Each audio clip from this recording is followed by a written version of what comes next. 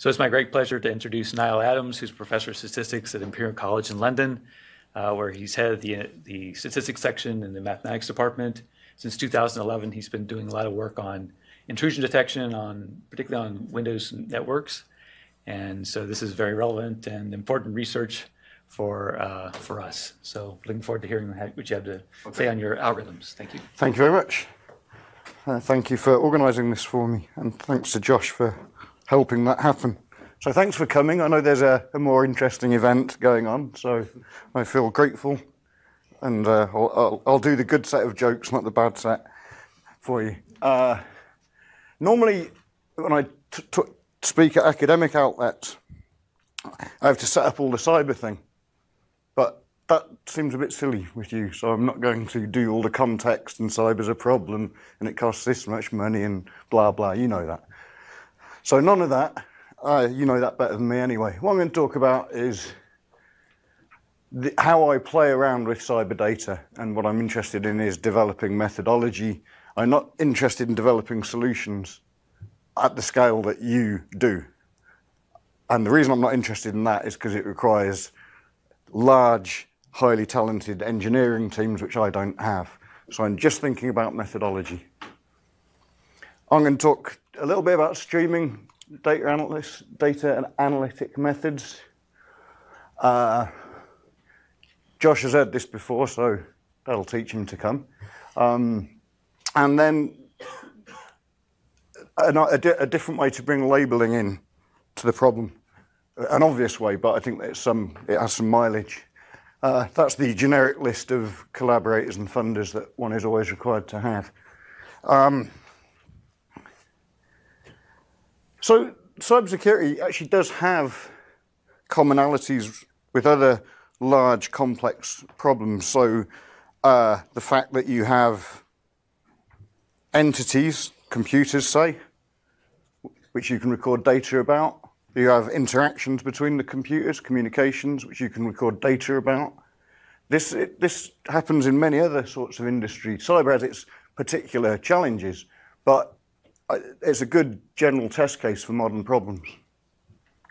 The game I want to play, I want to think not about trying to enhance existing defences, signature-based defence methods, which are perfectly good, but they work well. Okay, there's always scope to improve them. I, I'm seeking to complement existing methods with anomaly detection. And by anomaly detection, I'm really just talking about can I construct a method that will say an entity has changed with respect to its past in a surprising way. And I'm going to have surprise defined statistically. These are, so uh, immediately I've stepped back from find the bad guy. An anomaly is just an unusual event. It is not the bad guy. That's why I'm saying these are complementary ways of thinking. Uh, of course, uh, what I want to do is construct anomalies for things that are known to be suspicious or indicative of unusual activity. And I'll give you some examples of what I've been led by cyber analysts, government cyber analysts, of, to be important things. Now, you, from what I understand, you have terrific data, uh, except there's rather a lot of it, but you have a very rich collection I, I, I sort of traverse a world where the, these, these are the sort of data I can get access to in my institution, and these are the sort of accesses you can usually get in an enterprise. So mostly my remarks are phrased within enterprise. And I know you're thinking bigger than that. Um, probably talk quite a lot about NetFlow, uh, host-based events, what's it called now? Well, so these are the ETWs from the you know Windows security logs, security okay. logs on the host. Yeah. So this seems to be in the industry becoming a, a, a new place to have startups. I think your the Microsoft view is rather different because you can engineer into the kernel. I'm only saying that because he just told me. Um, this is the sort of stuff we can routinely get. Of course, there are um, privacy issues associated with this kind of data. NetFlow is deemed personal data. Okay, so I wouldn't even be able to share Imperial NetFlow. because of GDPR. Now, you, again, okay, this is stuff mostly I think is bleeding obvious. Data is often enormous. Yours is going to be bigger than mine, so to speak. Uh, it's coming very fast. Even Imperial College, 40,000 people.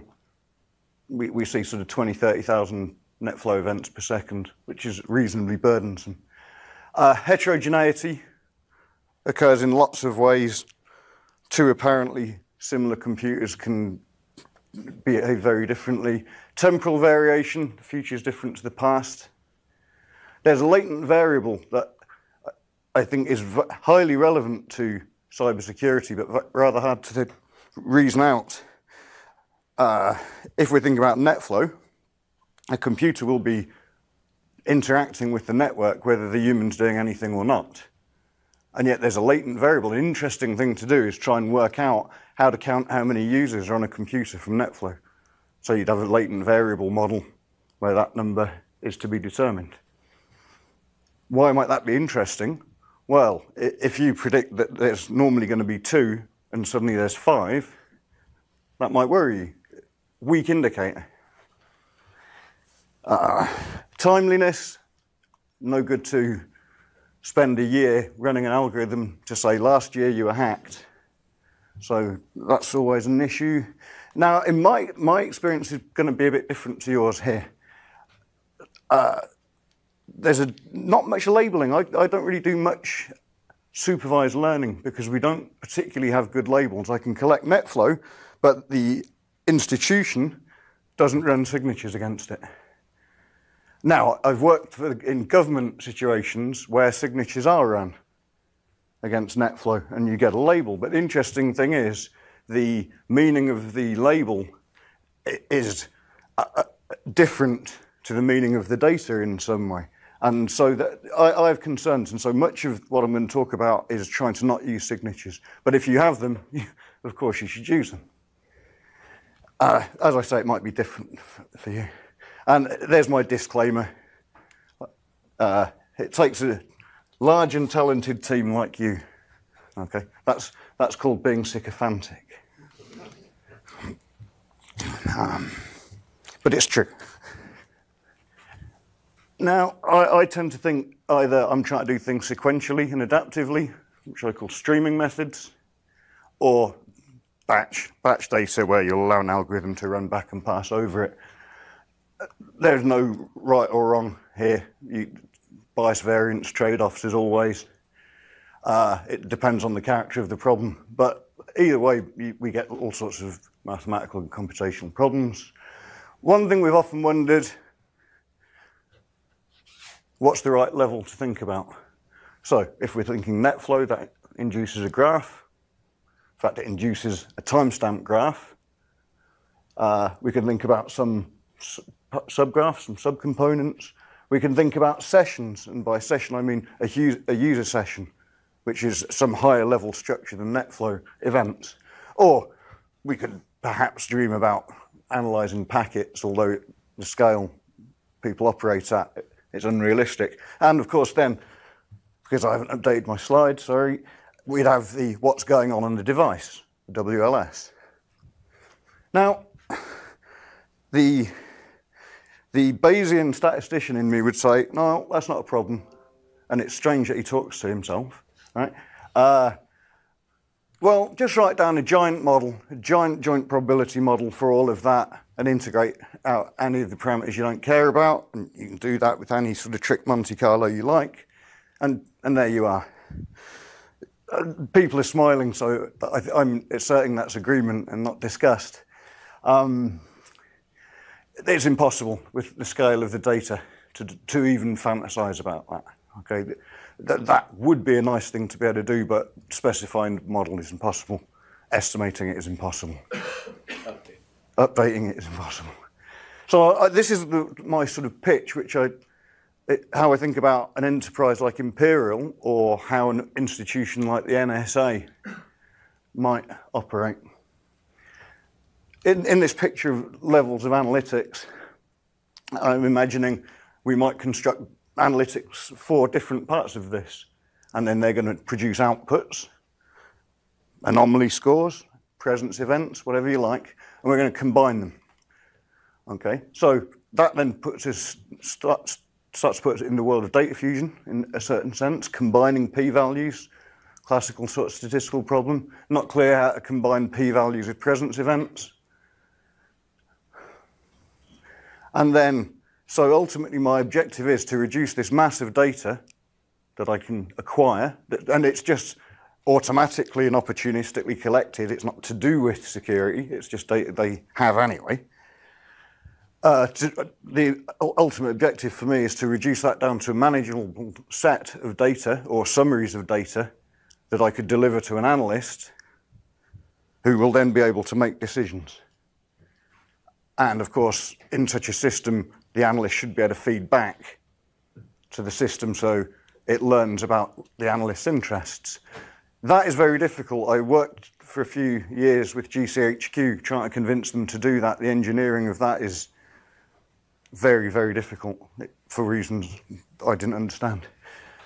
Uh, now, in this, in this human in the loop security model, where a human in the end decides, and if this was government sort of cyber, uh, the way it works in the UK is actionable intelligence needs to generate a report a human has to sign that report. It can't be machine generated. Um, a human has to take responsibility for it because it could be used for an effects operation, for example. So that much of my thinking maybe comes from there. But even at Imperial, if a network analyst is going to come and rebuild a computer, you know, that's still a human decision in the end. Now, in this network analyst focused view, we've still got to think of this. I, I, always like to put Latin in to show you that I watch Star Trek, right? Uh, uh, yeah, who watches The Watchmen? Um, of course, those people need special monitoring, right? Ed Snowden gave us clues about that. So I'm not going to touch on that except to uh, uh, caveat the point. Uh, have you seen this picture? Okay. So the, the colleague at Los Alamos is this gentleman. I like showing this because it's an example of anomaly detection of a very cleverly designed statistical procedure supported by very cleverly designed computational infrastructure that was able to operate to, that was designed to try and find unusual uh, lateral traversal activity. And this is the only published example I know and I mean in the open literature, of a foreign state attack being discovered and reported. This was a completely unsupervised analytic. The human insight in the construction of the analytic is that attackers in traversal will behave in a, specific kind of way, and that is unusual with respect to normal behavior. Okay, and, and it's the definition and computation of the statistical summaries. This is a great piece of work uh, and a great picture. Let, uh, if you have questions about this, he can answer them. I'm embarrassed. Uh, that's why I did it. Okay, anyway. so, uh, right. I'm very interested in change point detection. So, imagining a process moves along, it, it's, it's being generated by an, an IID process. At some point, the, the mean changes, the variance changes, the distribution changes, and I want to detect when that happens. Uh, and that's a very classical sort of problem in statistics with a long history. Uh, I'm going to reduce everything down to a sequence of vectors, and I'm going to treat them as discrete time, such as x1, x2. I'm not going to think about interarrival times. Uh, this is just because the methodology I'm going to introduce requires that. Uh, these could be vectors, of course, to turn whatever you take off the wire into a vector requires a large amount of streaming effort. Let's suppose that can be done. Stream processing infrastructures are popular. I'm not going to address that. I bet there's more expertise in this room than I could possibly bring together. One thing I would say about streaming analysis compared to the historical roots of change point detection is the stream will continue. We're looking to find changes in it. We can't go in and stop it. Uh, just a bit of bit of context. For the next 10 minutes, I'm not going to talk about a specific cyber example. And I hope that doesn't drive you mad with annoyance. Uh, I'm going to sort of talk about general cases. But to set this up, maybe thinking about NetFlow again. So Imperial has that many computers. Th- these numbers are a bit old now, but that's the sort of scale. We know very well that there isn't a sort of smoking gun behavior in NetFlow that would indicate malicious behavior. Uh, particular interest in idiosyncrasies of Imperial. What does the institution, the company, I think is a better word, what does it care about? It really cares about illegal transfer of copyright material. Why? It's worried about being sued. Uh, uh, very few constraints on network usage in contrast to a bank. Uh, for example, we have halls of residence. That is in the paperwork, that, that is deemed as the student's home, and they are allowed to use the internet for any home purpose. And the paperwork actually refers to pleasure, and I interpret that to mean playing computer games. But it could be other things. Studying. Yes. Yes. Uh, so, so it's a bit wild westy because of what can be done. And you've also got a bunch of security researchers testing things out to see what will happen. Uh, our major compromise route, as probably most such institutions, is spear phishing. Now, okay, change point detection. You, uh, you must be familiar with these sorts of control charts. You're monitoring a quantity of interest. Uh, uh, you're able to define control limits when when the quantity of interest moves out of the control limits, you're able to define uh, an out of control event, and we'd call that a change point. This goes back to Shewhart in the 1930s, 1920s. Very well studied. Uh, and what I'm going to talk about a bit is how one might adapt this.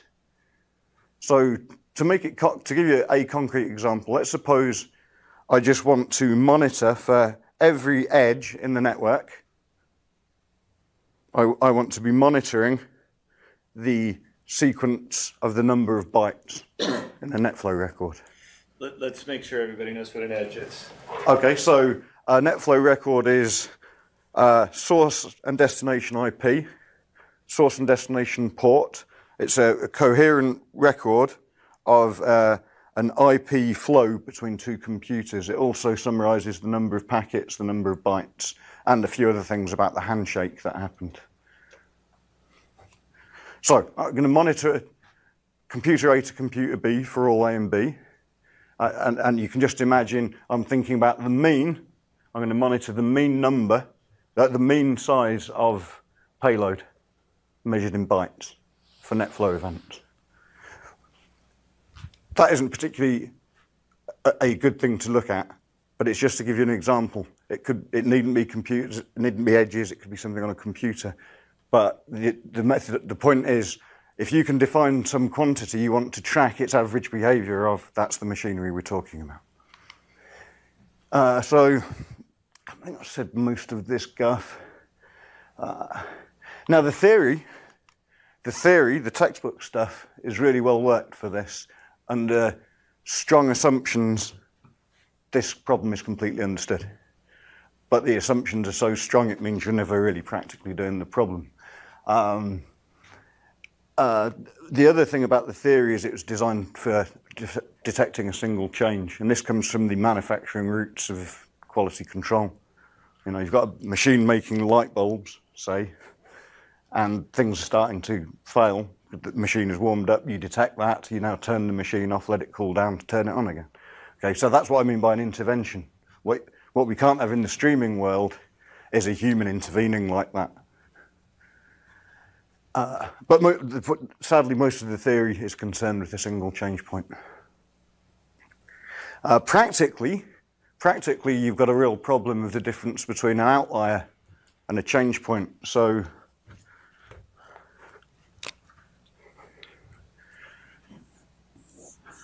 if this is discrete time, you, you imagine the, the process generating the data. Okay, so the mean is that, and we're looking to find a departure to a, a new process. Okay, well, if I'm doing this sequentially, right, the first time I see something that departs the control limits, that could be an outlier. Okay, so what people practically do is use what are called run rules, and they say, well, you need to have three of these or five, and there's a, a sort of weak probabilistic argument you can say about how many of those you need. Okay. Uh, and so I'm going to talk about very simple stuff. Um, again, it's all apologies with me. The simple stuff is what has the prospects of working at the sorts of scales we're worried about here. So CUSUM uh, is probably the classic textbook method. Uh, uh, Shiryaev-Roberts procedures uh, are sometimes called fastest detection procedures. Those are designed in such a way to maximize the speed of detection rather than the false positive rate.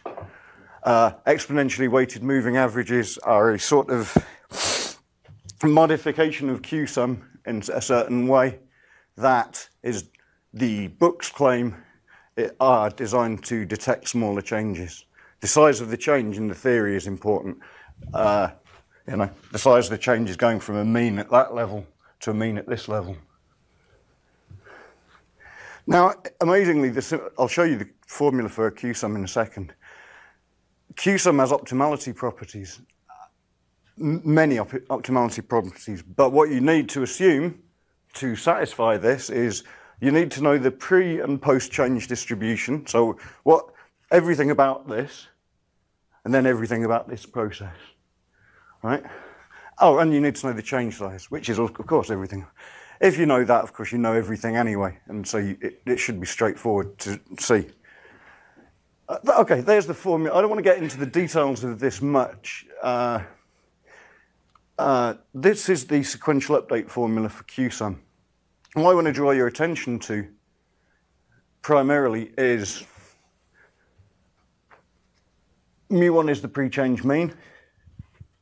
Okay, so that's assumed known. What you do practically is estimate it in a burn-in period. And we, we do a detection we, we flag Sj if this holds. So sigma 1, that's a standard deviation of, of the uncontrolled process. H, well, what's H? That's a good question. While we're on the subject, what's this K? What's this K? Uh, those are put in there. K first. K, K is to do with the size. You can mathematically tune K if you know the size of the change you're looking for to get quickest detection properties. This is just like, this is a reformulation of the, the confidence coefficient of a confidence interval. The control limits are, are technically a prediction interval, but it's just a, it's just the control, the, the confidence level. Of course, we have to choose that always. But how do you choose it? And how do you choose that? Doing this on the stream, where I'm just going to leave this running on my data forever, and I don't want a human to have to go in and tinker with it and, well, now probably I should have k at 3.2. How can a user know that? So it's, it's, though it's escaping from some of that that I'm interested in. Uh,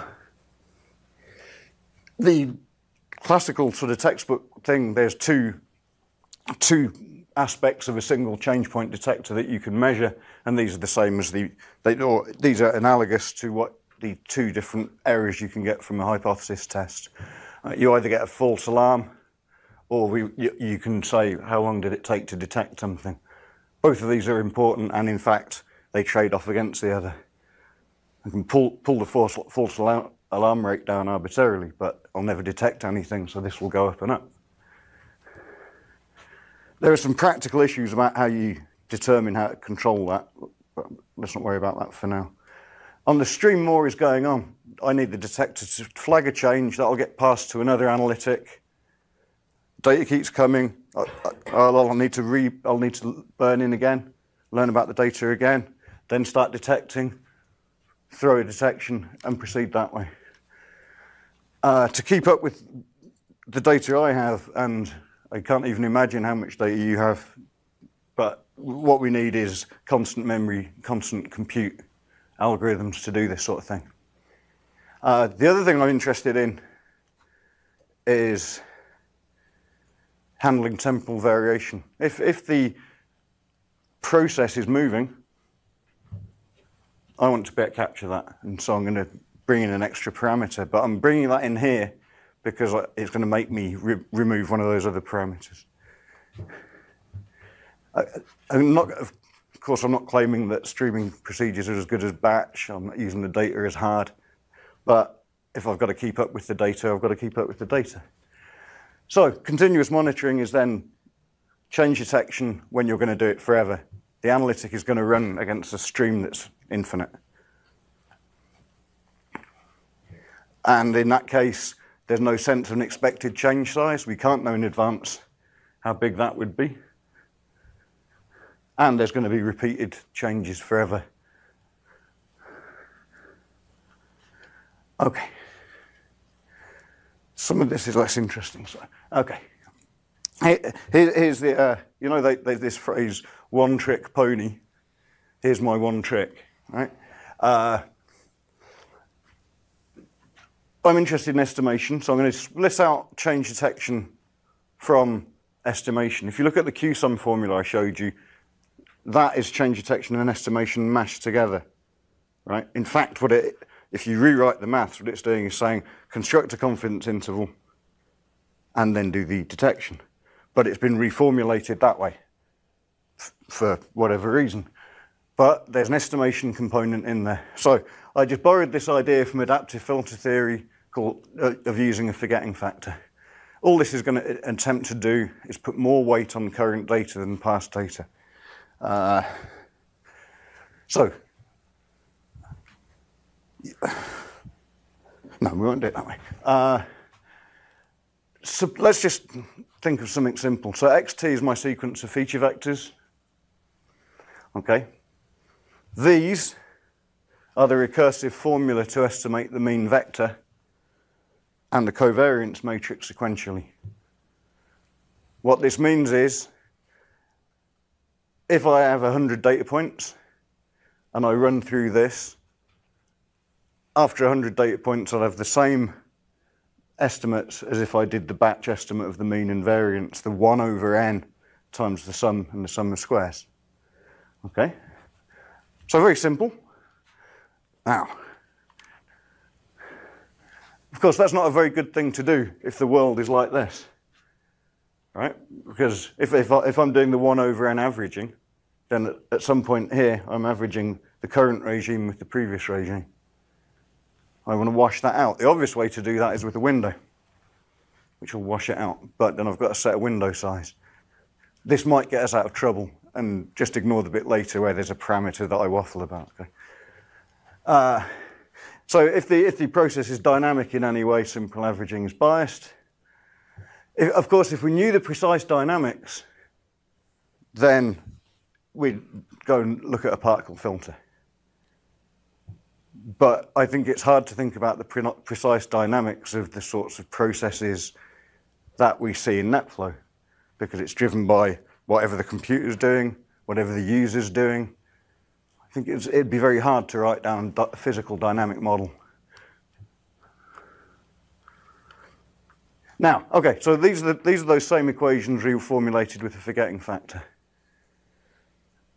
The, the key difference compared to the previous, okay, so M for mass, this is, this is the running cumulative sum. All we're doing now, instead of just adding xt in that way, what we're doing is down weighting the old bit. So lambda is going to be a parameter between 0 and 1. We'll come back to how we choose lambda. All this is doing is putting weight, it's, it's controlling the amount of weight in the summation between the new point and all the old points. And works similarly for the covariance matrix. Now, what, why? It, this is elegant, if not sophisticated. It's elegant because it's a, a sort of smooth window, right? And if, if this Whereas Gaussian data, what you're doing is, is sort of tracking the sufficient statistic. Uh, so we can get hold of estimates like this, and, and those will adapt, and I'll show you some pictures of that. But this is cheap, cheap to do, provided I can guess lambda. Just a couple of other things. NT, this quantity NT is, is called the effective sample size. It's a measure of the size of the window that's being used. It's a crude measure.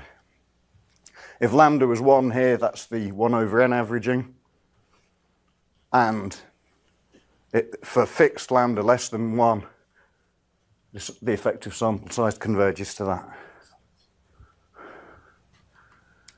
But of course, I made this big song and dance about trying to escape from parameters, and I've just introduced another one. So let's see if I can make that go away a bit. Well, we could fix it, or we could think of methods to allow it to vary. And so this is, again, an idea from adaptive control. So uh, uh, we'll, each iteration will do one step of gradient descent in the direction of a cost function defined for the problem with respect to lambda.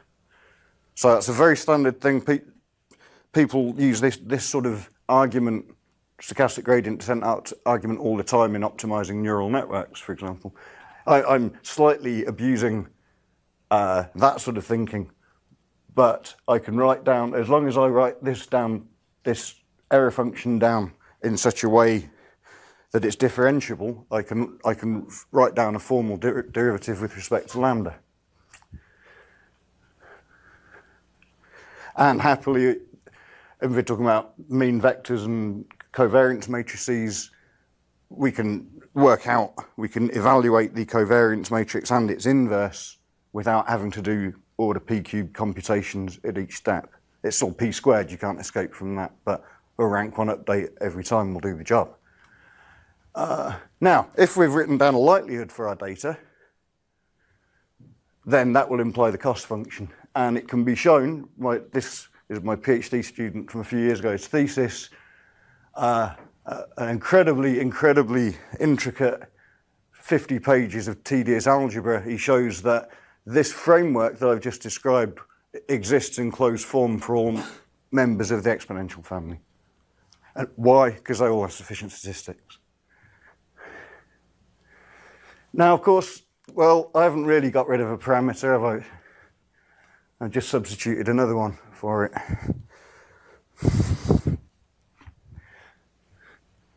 So, careful implementation is needed. We nearly always operate with a, bra a lower bracket. Don't want that quantity to get too low from practical experience. Uh, for, for estimating the mean, we can go a bit further. And we've shown that uh, if we have IID sequence data with these properties, then the expected value of the derivative of the particular likelihood is always of the order of the variance. And that suggests, we don't know what the scale of the derivative is, so it's really hard to think about alpha, the learning rate, right? So if we, but we know typically the magnitude of it. So if we modify that, if we, if we divide out the typical magnitude of that derivative, at least we can think about the same scale. So this is the procedure we like to use. It only works in cases which have that sort of structure. And ultimately, all of this is, is now an attempt to balance old and new data. Why do I care about it for change detection? You know very well false positives happen. You know very well that you miss things. Okay, if this change isn't very big, right, the detector may miss it. Well, if I'm doing adaptive estimation like this, the estimator will still move to the new regime. So I still have an up-to-date estimate. Okay, so part of my interest in this is to have a way of keeping up with the world when I could miss uh, a change. Because if I see a change, I'm going to restart, I'm going to reburn it. Okay, just to give this a bit of context or an example, there is some data it's simulated. Uh, change point at 50, change in the mean of magnitude 1. That is one instance of the adaptive forgetting factor. Yes, it, the stochastic gradient descent does induce oscillation. It can't be escaped from. This is the Monte Carlo equivalent of this, where we've simulated a load of these and looked at what the forgetting factor does on average, and that's what it does. And that's kind of pretty. It's doing what we want, right? The change happens, the forgetting factor says, oh no, the world doesn't look how it did. And then it burns back out. Uh, the sad part is we can't make this go much faster. We can't make it recover much faster than that. So basically, lambda there is it's saying forget everything, Yes. isn't it? Yeah. It's saying I want to be small because the past is no longer relevant. Yeah, precisely. Uh, just comments about scale. So, those are three different choices using my scale and heuristic. Uh, okay, so uh, the, shape looks as you'd expect. You know, the smaller the learning rate is, the slower the thing can move. Okay, but these are orders of magnitude different and we're getting pretty similar results. So it may not be too critical. So let's say I've not completely convinced you, but there's some reason to be hopeful that the choice of that parameter isn't as critical as the choice of a window parameter, a sliding window parameter. Uh, hmm, so I, will I'll come back, back to that if you want. Uh, it turns out the thing that I've just described sounds completely heuristic, and it kind of is, but you can put it in correspondence to a Kalman filter. And that's kind of fun because it gives it some more formal justification. I'll come back and do that if, if you want. Anyway, so where, where have we got to? I've now got an estimator that will track a moving target, and I don't really have to put many parameters in to do it. That's not giving me a change detector because what I need is a prediction interval associated with the estimator. How, how can we do that? Well, the, uh, the, the, the popular in machine learning at the moment is to use concentration bands. Okay, uh, so we can always write down such a bound. Our experiments with that said it was too wide, which the interval was too big. Okay, uh, and I didn't want to spend forever trying to tighten that bound. Okay, the next thing to do, the the the roguish statistical thing to do is say the whole change detection literature is based on Gaussians, so let's talk about Gaussians, and then everything drops out quite nicely. And the thing we're working on now is estimating that distribution directly using stream using non-parametric streaming methods. One way is based on I'm going to choose some quantiles to monitor, and at any point I'll have some representation of the empirical cumulative distribution function via that, or to actually directly estimate the CDF. And we've got some ways of doing that. I'm going to, for this, I'm just going to do the strong parametric stuff because the mass drops out. But the, the, these will be the answer. Uh, if we do let everything be Gaussian and we make assumptions about what, how the estimator would behave if lambda was fixed, everything drops out beautifully. Okay? Um, and from there, we would be able to define this prediction interval, the confidence limits. Of course, alpha, that's the co- confidence coefficient, if you like.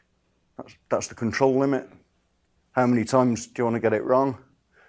Uh, now, we can only extend that, this approximately to the time varying forgetting factor. The time varying forgetting factor induces correlation because we've used the data to set it.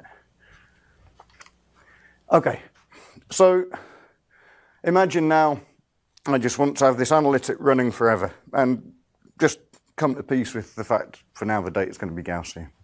Okay. Uh, we're going to see blocks of data coming that are di- identically distributed. Then at some point it changes, it changes again. It's going to do that forever. Uh, don't need any of that. If we're going to do it not just once, but we're going to let the detector run and run, then the traditional performance measures aren't enough. Something that Josh has been telling me about the last couple of days. I think we, the cyber community, need to think harder about how to correctly measure performance for some of these problems. I think there are subtleties that cyber brings that mean using off-the-shelf performance measures may miss something. I'll do another example. Anyway, so there are some more things you can de define which are sort of obvious. Did you miss one? Is it a false detection? So on. These are actually things I use in epidemiological surveillance. Details don't matter. Now I can do a massive Monte Carlo simulation. If you're a stats audience, I'd really let you have it now. Uh, this is pretty boring. This is how I set up a simulator, but you, you people are perfectly capable to imagine I'm going to simulate a bunch of stuff like this, right? Uh, and then I'm going to measure some things.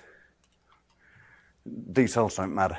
Uh, the only thing that's worth pointing to is uh, in the simulator, there's a certain period where a change won't happen after another change. We prevent a change point happening one tick after a change point because that would be an impossible thing to do.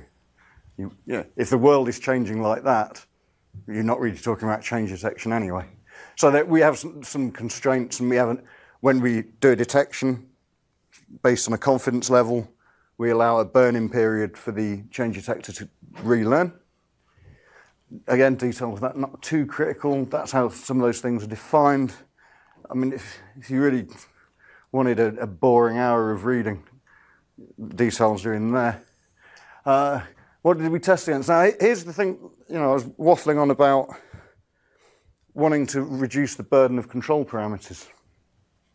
If you go to a textbook like Sheldon Ross, Introduction to Probability, look at the chapter on CUSUM. Great book, not criticizing him. He gives a table, right? Gives a table. The parameters for CUSUM, if you want to detect a small change, are this. And he's got some way of defining a small change. And for a moderate size change are this, and for a larger than moderate size change. And so what are we meant to do? I don't know what what to use here. So what we did was just choose a bunch of textbook recommendations and ran them all. Okay? See if there's a set that always works well. You, you know what the answer's going to be. Uh, ditto with EWMA. Okay? It turns out, actually, for those of you who care about these things, the forgetting framework I've described is, is in a specific sense, a limit case of EWMA.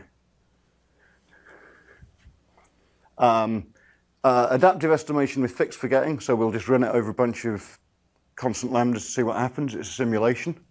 The time varying approach. Okay, so I have to do I have to do set the learn I have to set the learning rate. Yeah, but maybe that's not too critical. Test level. At least I understand what this test level means. It's kind of the false positive level, right? Whereas I don't know anything about it, what H and K mean. I can reformulate them, but just taking it from the book. And then JSA. Don't know what that is. Can't remember. Uh, when this went off to a reviewer, they said, your method isn't complicated enough. It, you should use something with more parameters. But we said we didn't want to do that. So we did it. You know, uh, and that had four more parameters because it had a, a component for seasonality and an outlier controller and and all sorts of other things. So, that point, I mean, there, there's a lot of phenomena where I effectively expect the distribution to be changing. Like, you know, for data, there's going to be a diurnal variation, 3 o'clock in the morning, mm-hmm. like one-tenth of, there's going to be a weekly variation, there's going to be a seasonal variation, and then there's going to be, the whole thing is just network traffic is increasing as a function of time, right? How, how do you, I mean, Right, okay, so I've actually got some stuff later which will start to address that, but what I think uh, the way we handle that is absolutely, it depends what we're measuring, right? So the example I gave was the number of bytes, and that might not show diurnal seasonality. But if I'm just talking about the number of events, say, then certainly uh, in, in imperial NetFlow, that follows the working day, and it flattens at the weekend. And there are weekly ones, and in fact, we know Wednesday afternoons are less. And the way to do that is to learn from the population and then correct these estimators.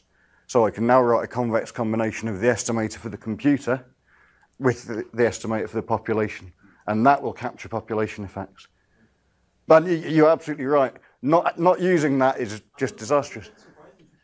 Um, it would seem to me that NetFlow is like the worst data set to, to, to try this on. Because there are many things where, like if you look at, say, credit card fraud, you know, if you're if you're um, if the number of failed transactions at a gas station goes up. I mean, this you know this has a the, the, the, the average number of this in the, in the legitimate population should be more or less fixed and Yeah. not and not changing as a function of overall transaction volume. So any change in your mean is actionably bad. Yeah. Whereas it seems to me here you've got Yeah. so many. Uh, well, I, I'm impressed that you can tease No, anything out of that. you're absolutely right. Um, NetFlow, it- NetFlow was designed for accounting. And, and I'm sure if we were redesigning it for security things, it would have a rather different, uh, the, the fields would be different. Uh, but we use NetFlow because we can get it. You know, you, you as the designers of an operating system have access to things no one else does. Uh, but the way we would handle that is to mitigate out those population effects by learning. So I can equally well learn the population version of the, com- the individual computer version, and I can optimally combine them. Now, the question of whether it's an optimally, optimally combined estimate or it's an optimally combined change detector But, but there's also the fact that it, can be very long tail, right? So when Oh. changes in the mean of something that's very long tail aren't as meaningful as changes in something that I, you know. Yeah, a- absolutely. Absolutely. So again, it kind of depends on what the thing we're measuring is. Uh, the bytes example was bad, and, and it's nice that you're calling me out. And if you look at if you look at a, a random computer, most of its number of bytes will be tiny, and then now and again it's massive because they've just downloaded a movie. But if I can learn about the fact that it's a mixture distribution, I can still make progress. But I'll come back to another aspect of the timing thing. But generally, the way we would do it is to use the population to remove those known or learnable seasonalities. Okay, there's a boring table. Uh, it doesn't matter except, first of all, I don't expect you to read this because I haven't explained it at all, right? Uh, truly the act of a charlatan. I might as well have tweeted this. Uh, oh, steady. Um, uh, all of these things subtly describe the performance of these detectors, and they interact. You'd have to look, spend some time looking at really, really what the numbers mean. Apart from the fact that pretty much always JSA, the one with all the parameters, is rubbish always, for all parameter settings, even when we tried to optimize, cheat and optimize them. Okay, the only thing is, our proposal is based on that, and those numbers all look about the same. So CUSUM can do great, it can do terrible, if I've just got one set of parameters. EWMA can do great or it can do terrible. The method I'm proposing does okay. Always. In all, this isn't the only simulation we did, okay? Uh, and that the real interest for the streaming analytics part is to have something that will run without intervention, without having to be concerned with fine tuning of parameters. okay, so. Okay, here's a real example. This is a bit more. So imagine I can go to NetFlow and I'm going to call this node B, that's a specific IP address, and all the traffic into it I'm going to just call A. I'm not distinguishing where it came from, it's just traffic coming in. And all the traffic going out is just going to C. It's not, but I'm just matching it all up. So there's uh, timestamps coming in and timestamps going out, right? So I can measure the distance, the, the, I can measure the temporal distance between an in, incoming event and an outgoing event, right? And I can think of the dist- I can think about that as a quantity that I can measure the average of. Okay, why might I be interested in that? Relay. Relay often manifests as something happened at t here and then at t plus epsilon here. Okay. Uh, so I'm taking some of that methodology that I just described. Now I'm talking about a time difference, strictly positive, because it, one before the other. Uh, and it takes you have to slightly contrive that. And what I'm interested in is the minimum. I'm not thinking about the mean now. I want to know if this is unusually small, which might be more indicative of relay, because the relay software on here will respond faster than a human. Yeah, to give a, a little context, I mean, for, for those of us who uh, don't think about cyber every day, if we see machines that are forwarding data, that's all they do. That's pretty concerning. Most of the time, we would expect that a computer would talk to another computer directly, and if there's something intermediate, that can be very concerning. Tunneling is one way to describe it. Go ahead. Okay. So slightly adapt. It, it turns out there is well-formed mathematics for IID data when we want to reason about the distribution of the minimum or the maximum. And, and that, that work becomes extreme value theory in the end. Uh, so adapting some ideas from there so we can use extreme value arguments for the distribution of the minimum. Okay. Those are, those are some lags. Just this is just a demo. I'm not claiming much here. Uh, uh, there's your upper confidence bound. The red lines are where it crossed. The methodology will bend, right? What we want is methodology that will bend. So you, I want to go after something different. How do we bend it? Okay, now, now, you know, another thing about one-trick ponies, right? So here's the trick yet again, but I'm not going to re- regurgitate it all. So the example I started with was a continuous quantity, deliberately, right? But lots of cyber things are discrete. Server ports, IP addresses themselves. Okay, so now I've got a, a, a sequence of discrete states.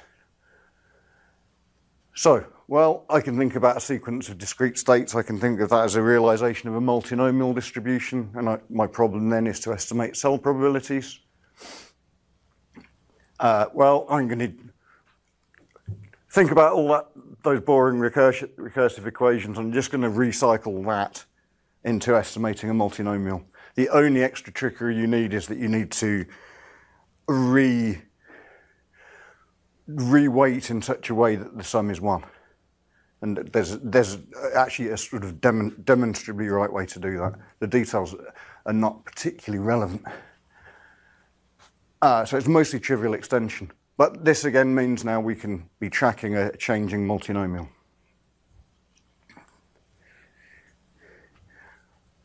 Again, it's nice with, with respect to the learning rate because the cell probabilities are bounded. I'm going to very quickly now because I know we're running. Quickly, two. These are more recent things, so more summary. Uh, Uh, if I can think about a multinomial, then I can think about transition matrix. Okay, because that's just that the rows of a multinomial are transition matrices, and you can treat them independently. And I'm just going to think about the idea of tracking a multinomial. So, server port sequence, I'll do an example of that, and I'll come back to this one. In either case, the question is, well, I can estimate these cell probabilities. How do I calibrate the magnitude of the change? Which means I need to think about the uncertainty in the estimator. Uh, so let's talk about transition matrices first. So I'm just thinking about, think, think back to when you learned about Markov chains. So uh, the, the present is conditionally independent of the past except the last value, and you can think about the transition matrix that represents those probabilities. Okay, so that's an object I want to track. I want to do change detection on. Well, it's interesting because it's a complicated object. How, how, how do you decide what to what the target of detection is? So there's at least three obvious ways. The first way is element-wise. I've got a dis- I can think about the, the distribution of every element in the matrix. Or I can think about row-wise, each multinomial. Or I can think about matrix-wise, the whole structure of the matrix and matrix theory. Uh, and it turns out these get harder as you go down that list. And in fact, you'd also see a trade-off between false positives and detection speed as you go down the list. Uh, for now, I'm just going to talk about one. Uh, so estimate Pij in exactly the way I was just describing for, with the streaming forgetting factor. Okay, that, well, it's a binomial quantity, so I get the variance for free from the mean and the effective sample size. Okay, bit distasteful, but I'm now just going to fit a symmetric confidence interval because the distribution of that quantity is in general unknown. So th- this will be good enough, hopefully. Uh, and big simulations, I could show you another boring table, but I won't. Same sort of thing. It- works. Actually, there isn't much you can compare this with. There is no equivalent detector. The only thing we, we could find was use a standard Bernoulli change detector on every element. So, uh, but this reduces the burden of parameter setting, which is what I'm looking for. But the other interesting thing about the transition matrix is that it gives you a chance to reason about expiry, in an indirect way. So everything about things changing over time, it might be that some states we saw last year we don't see anymore. We need to expire them out, right? Otherwise, if we're just building a, a list of who, which computers we've visited, in the end, it's the whole internet. That, that wouldn't be any use. So the transition matrix gives us a nice way to think about expiry, and it's the columns. Right? If the column of a, of a transition matrix, if its sum starts to look like zero, no one ever visits it. Okay, and, and we've got a nice little bit of probabilistic trickery to determine an appropriate threshold for that. So it's nice for the indirect expiry. And it might be that in a cyber application, seeing things expiring is as interesting to an analyst as seeing new things. That's a claim more than anything else. Uh, so here's a toy example. This is not a real cyber example. I was doing some work for a company and I I had to have some data. So it's uh, requests to a scheduler of a server farm, 440 requests per second. It's not much, but that's what I had. Uh, for various reasons, they were interested in the type field of, of a HTTP request. In the data we had, we observed these six, six types. 96% of them were GET requests, which is probably unsurprising. Uh, this picture, don't worry about this too much of this business. This is time. The crosses are our detector, our transition matrix detector. The squares are WBS, that means wild binary segmentation, which, which shows that statisticians can be artistic with their name as well. Uh, but it's not flying method. And th- this is our attempt to tune it, so we were happy. I mean, the problem, as you know very well, you, you really don't know the truth, right? This is real data. So the best I can do is throw some very fancy method and hundreds of hours of compute time and compare how they do. So there's some, I think there's some mileage in that. I often think about sequences. We might be looking at a router, looking at the sequence of traffic going through it. If we see a sudden spike in the transition structure, that might be surprising, might be interesting. Uh, supervised learning, supervised losing, story of my life. Uh, all these things, all that forgetting factor stuff, extends kind of straightforwardly to linear classifiers. Kind of straightforwardly. Uh, more difficult with nonlinear methods, and it, it's the complexity control that's the problem. We have actually adapted all of that to work with single layer, multi layer perceptrons, but you have to fix the number of hidden nodes. Can't tune that at the same time. There's an interesting, deeper problem here that we haven't resolved yet. So, so what I'm claiming is you, you could run an MLP sequentially and adaptively. But there are interesting issues about the relationship between model complexity. Say, a linear model it, it has no complexity, it's just a linear model. Uh, if the distributions, if the decision boundary suddenly changes markedly, does that mean the complexity necessarily should reduce? There- There's some things we haven't worked out about that. And the other, the other thing about supervised streaming classification, which I think the literature doesn't do justice to, is delayed labels. Nearly always in the academic stuff, they've invented a cottage industry of you get X, you predict Y, you are now presented Y, and then repeat. And that's true only for cases where the thing you're predicting is about the next tick. Is the value of this going up or down, right? But in credit, we talked about credit card fraud. You find out a month later, right? How do you incorporate delayed? Very hard. Uh, okay, future. I couldn't think of a name for this. I wanted to talk a bit about uh, labeling. Because I can't get labels for cyber, I'm going to invent some because I want the, the machine learning the supervised learning machinery where I can get it. So instead of having a label given to me, I still want to do anomaly detection. So what I'm going to do is to say the label for whatever it is I'm measuring, and now I'm going to bin time up. Forget streaming, we're binning time up. And of course, there's choices about bins, bin sizes. The label for the current tick will be something about the next bin. So the example I'm going to do in a few minutes is, is not written on there. Haha, good preparation. Uh, okay, so just spontaneous, get myself out of trouble then. So bin time up. Okay, uh, th this is going to have a feature vector xt which we'll construct, and there's going to be a label yt plus one. I'm going to try and predict that from this in a machine learning or it's a supervised learning way. And this is going to open the door to data fusion for me. Why, why do I want to do that? Because I can get the machinery of machine learning, of supervised learning. Of course, this might be impossibly cumbersome to implement in a production system, but that's not my, that's, I can't do anything like that. Yeah.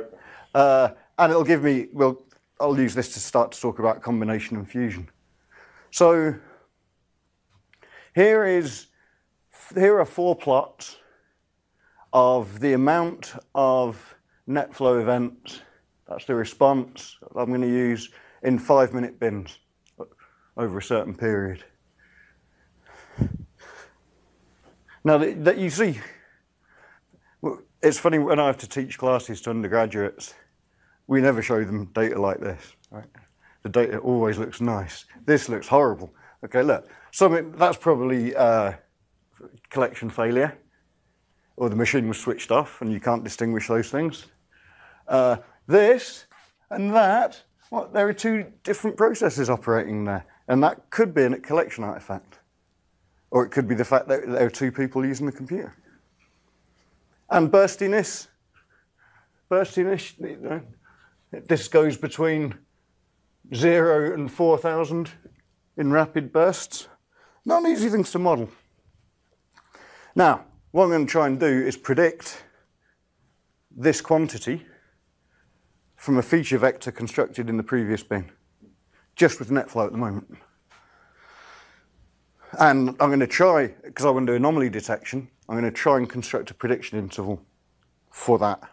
Remember, it's a continuous quantity here. Well, it's a count, but we'll treat it as continuous. Okay, so then I can do anomaly detection against my prediction. And this, this will work for many sorts of things. So we, again, you are the experts at really understanding the data and being able to craft good features, so we just made some up. Okay? And these are the sort of things, things to do with time, uh, counts of events and properties of events, uh, buckets and byte loads, things about ports and protocols. So for a bin, for a computer, we're able to generate, generate 35 features just from NetFlow. And that's not using, that's the level zero feature. It's not using anything about the neighbors it's interacted with in the graph. Might call them level one. Okay. The, one can decorate these very greatly, but just as proof of concept. Oh, and what do you do with an empty bin? Well, we just mark them out with a missing value indicator. Uh, there's better things one could do uh, more, yeah, anyway, there's the list of things that I could do and didn't. Uh, what did we try? Well, we saw lots of zeros, so it, and it's a count that we're looking at. So Poisson models, zero inflated Poisson models, and then borrow some of the machinery of machine learning, random forest, quantile regression. So just add linear regression works on the conditional mean. It's possible to work on conditional quantiles computation isn't that much greater. Okay, and then quantile random forests, which do exactly what random forests do, but they do it conditionally on quantiles. Uh, so for this problem, we needed a benchmark, and the obvious benchmark is use the, the data itself. The true YT predicts YT plus one. That's quite hard to beat, and we're throwing quite a lot of machinery at this. Uh, we only did a few devices, but there are also issues about the correct measure of forecasting performance. it turned out that for sensible sorts of measures, the random forests and quantile forests kind of were the best. Uh, but prediction isn't enough, right? Really want to be able to capture uncertainty here. So that's why we're interested in QRF, because we can construct a prediction interval directly from QRF. Remember, we're, we're making the prediction indirect because it's the future. And so the prediction interval would be for the future. Now, that is QRF on one of those examples. The left-hand plot is just the prediction. Now, interestingly, the QRF has managed to capture the fact there are two processes, whereas any sort of direct mean estimation wouldn't, because the mean is in the middle. And this, I don't know if you can see, but there's this sort of very pale pink. So that's the QRF prediction interval, evaluated at each point. And that's doing pretty well. In fact, empirically, it's conservative. It doesn't have the right coverage, but it's in the direction of being conservative.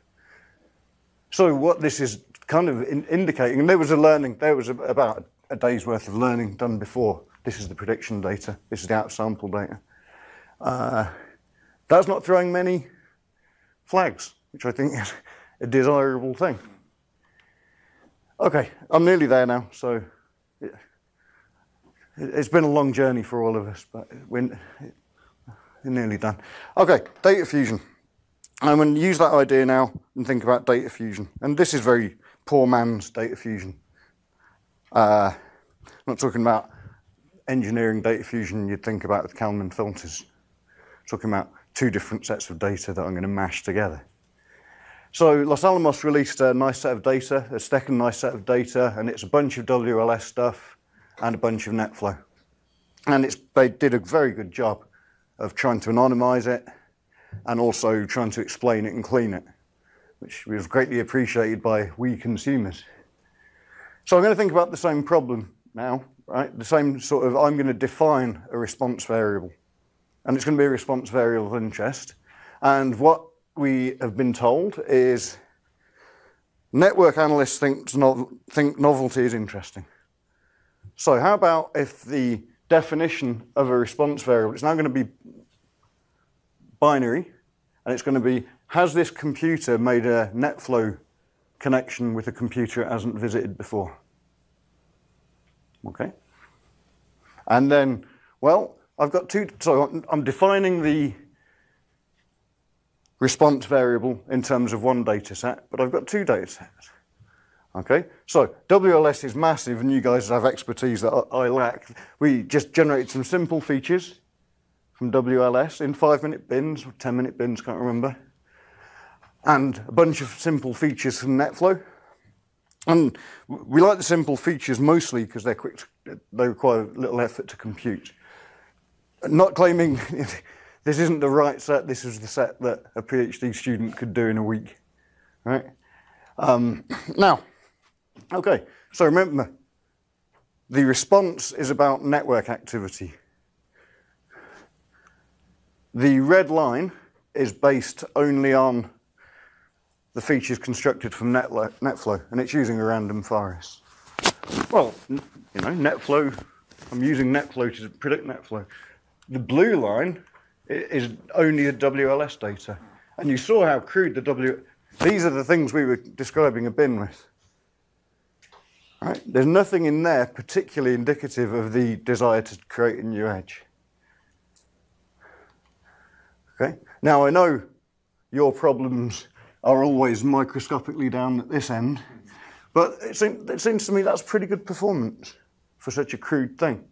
But WLS features that aren't really powerful, or you wouldn't expect them to have such power, are doing something quite useful there. You know, I think I, I think anything in, in the twenty percent range is of interest at least to us. You know, we're not going to look at 80% false positive probably, but something less than 20 is so even there we get we're getting the 60% number. Okay. So then data fusion. Okay. And again, I don't mean the sort of formal engineering. Uh, what, he's described here as is early and late fusion. So what we, and this is a phrase we've borrowed from bioinformatics. By early fusion, I just mean I'm going to mash the two feature vectors together into one big feature vector. And by late fusion, I'm going to build a tree for each separately, and then I'm going to risk average their results. Okay, so if you do that, what we see is the early fusion is the best, which means that the, feature, the features are interacting. Okay, so slight, slight input, uh, slight performance boost. Incidentally, uh, something to be very careful of. If you're in very highly imbalanced problems, binary problems, where one class is minute compared to the other, you get all sorts of problems from the likelihood.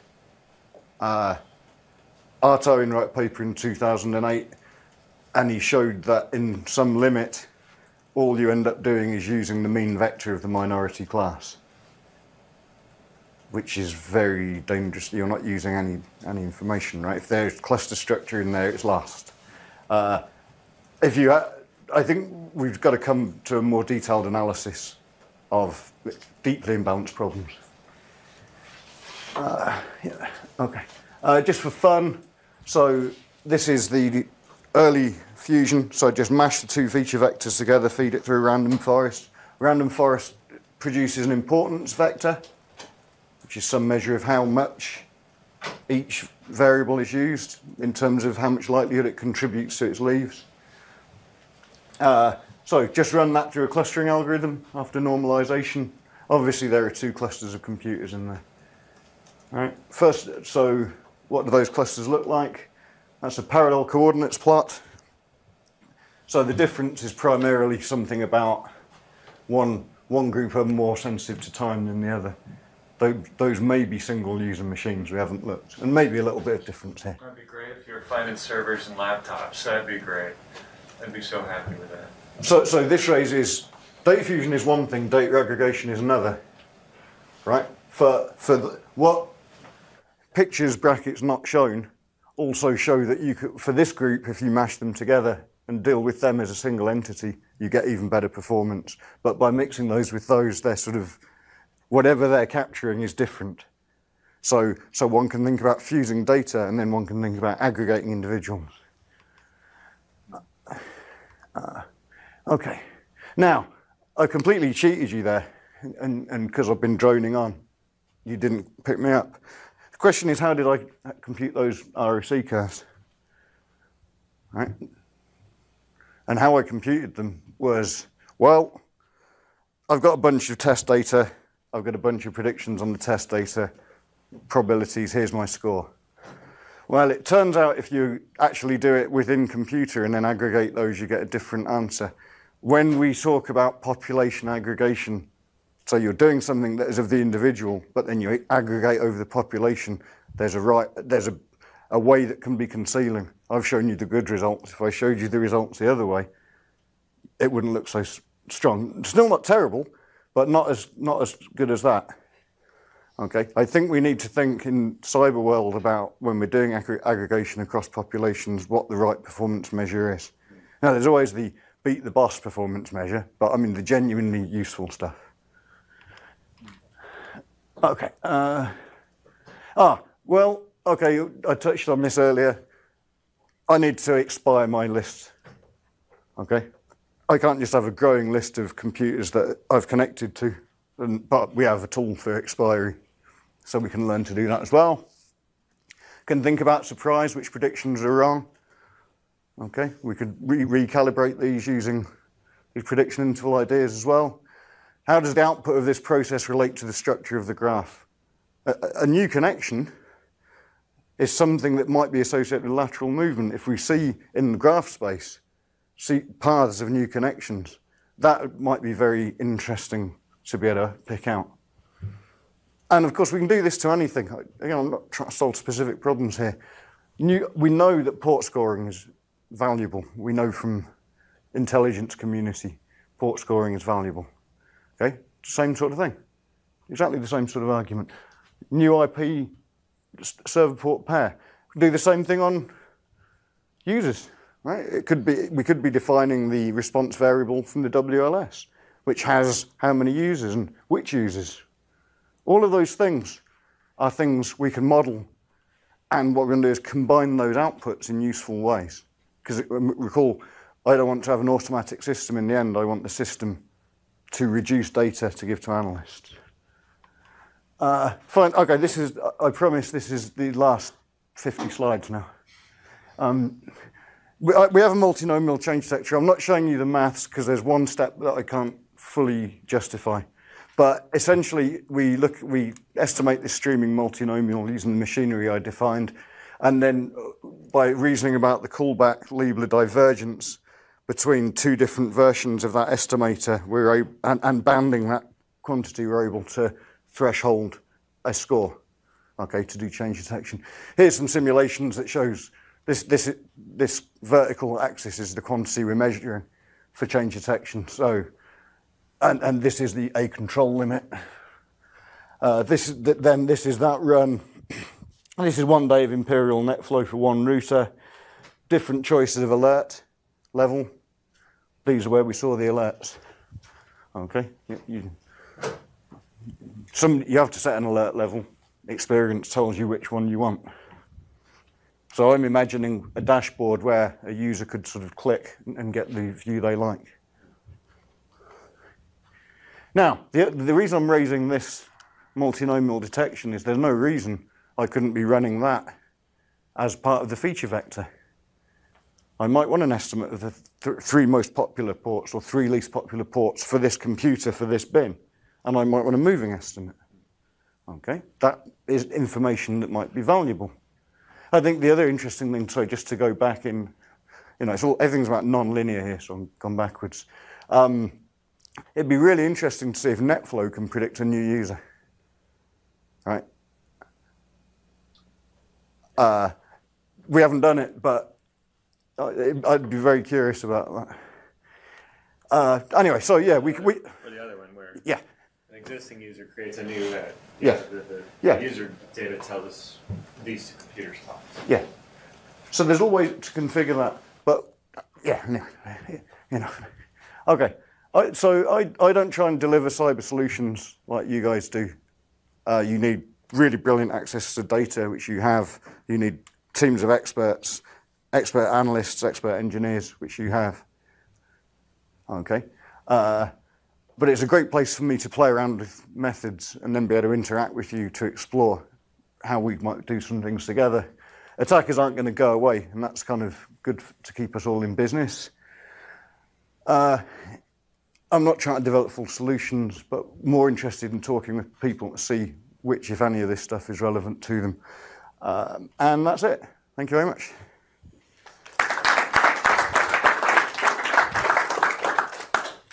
Additional questions? Uh, Thank you so much for the presentation. You mentioned filter, but uh, did you try uh, filter to see how it pre- predicts compared to the uh, solutions that look at?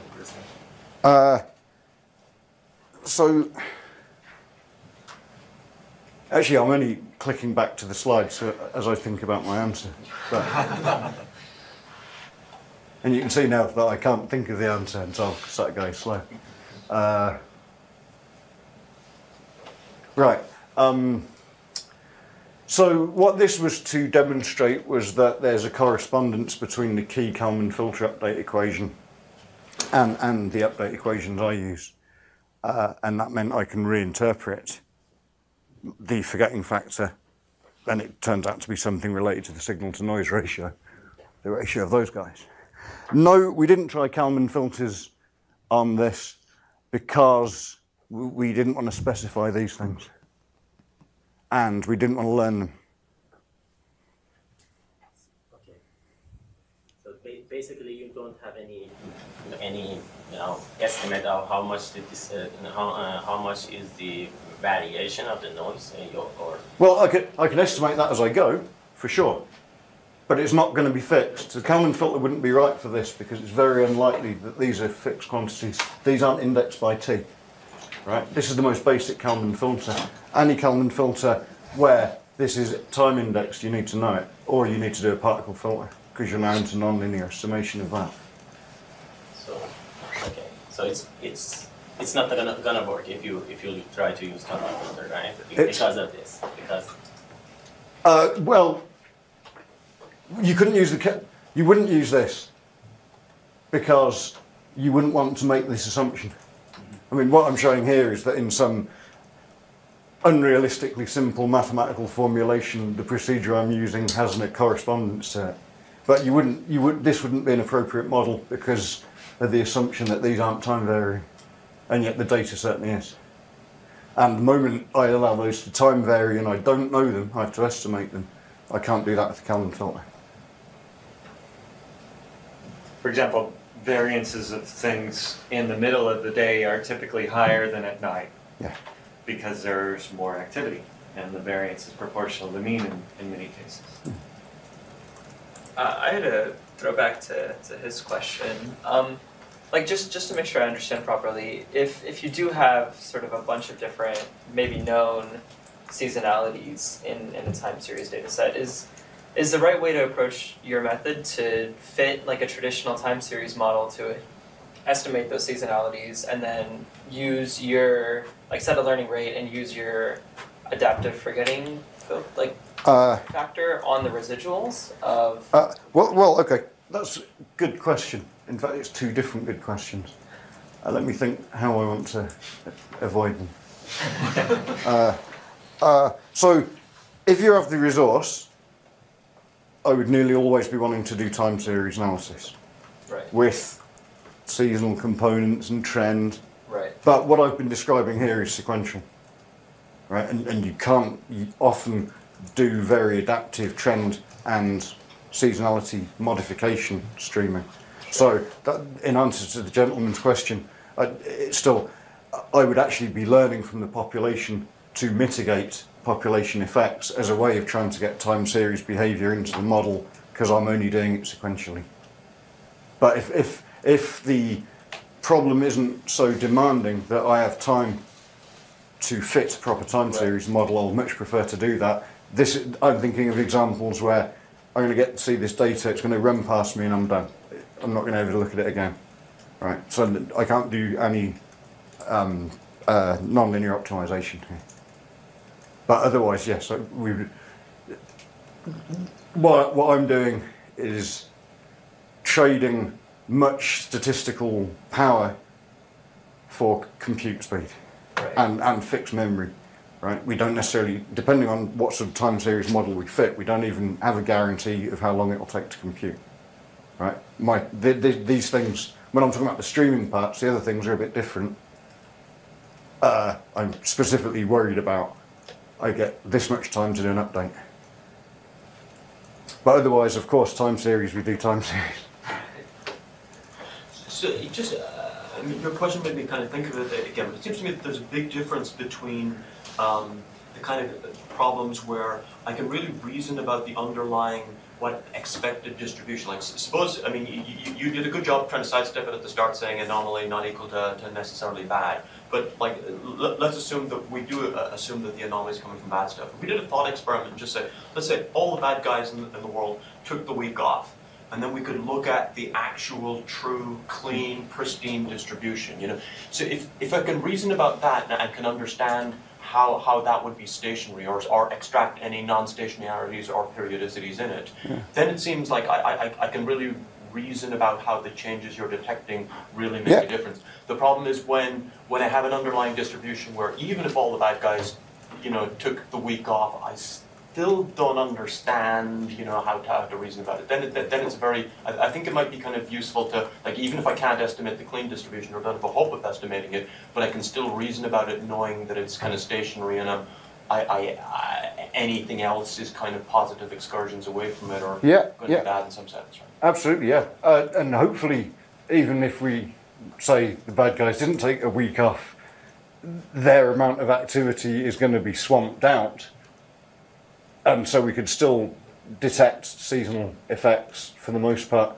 If, if they're having such profound effect that they're changing the seasonal behaviour of an enterprise, Right, it's probably not zero mean, but if it's uncorrelated Yeah. with the, the good stuff, yeah, you, maybe you can estimate something. yeah, so then, then we would seasonalise it out for sure.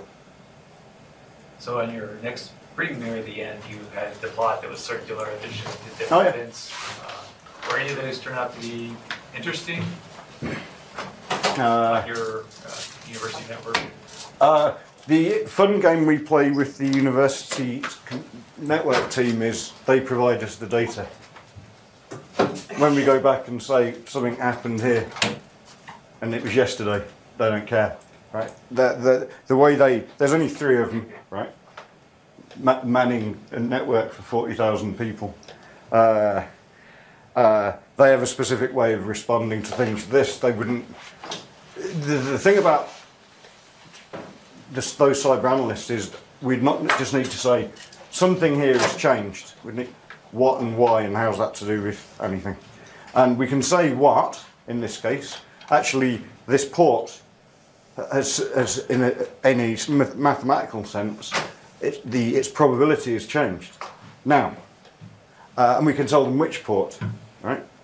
Uh, and then they might say, so what? And, and the answer I would say now is, well, if you'd have been doing this when WannaCry hit Western Europe, you might have seen that.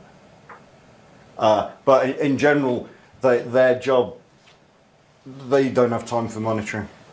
So they would just say, very interesting. You know, I think, I think there's some, uh, there's a, there's a variety in the market in terms of what people want. And I think some of them want this, um, in form, where it's, this was weird. And banks like to do that kind of thing. The SMB market, which unfortunately I think is just a reflection of funding for academic institutions and cybersecurity, but they only have three guys and they just don't, so they're sort of equivalent to the SMB market and, and there they, they have to just have very high quality, you better do something about this now and here's why, you know, sort of answer. Yeah.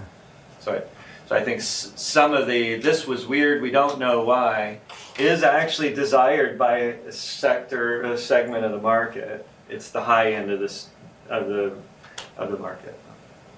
Just to um, the gentleman who read the questions about population effects. So the interesting thing is, if you look at these red dots, maybe it's interesting. The nice thing about cyber data is you can do just so towns. You know, just it could be this, right? It's like evolutionary psychology. You can tell any story you like. Once a caveman did this. Uh, uh, seven o'clock in the morning is a suspiciously interesting time. I could imagine that's when they fire off updates and things. Uh, 9.30? Well, academics never get in to work before 9 o'clock, do they? Right. 3 o'clock? Okay, people are starting to bunk off, go home. Yeah. Yeah. Updates again. What we would do as we monitor this, we would learn about where those happen. And of course, a thing that you have the capability to do, which we really don't, is go and, go and get a straight, direct answer on when do you send your updates out? You know, they might know if we had a, a timing of regular things they do that affect the network. That might eliminate half of this. If we don't have that, we have to learn it. But again, outside because you have the contained environment where you have data, you should be able to find this stuff out. But it's not always easy. And, yeah, and even the net, only one of the three network guys will know the answer. And there's no standardized system across different customers for how to track these things. And we're trying to do things at scale across many, many enterprises, right? And so it's probably unlikely that we would have the particulars of a given organization as well. But then we would we'd be trying to learn. Yeah. We're over time. Thank you. Okay. You're getting- Sorry.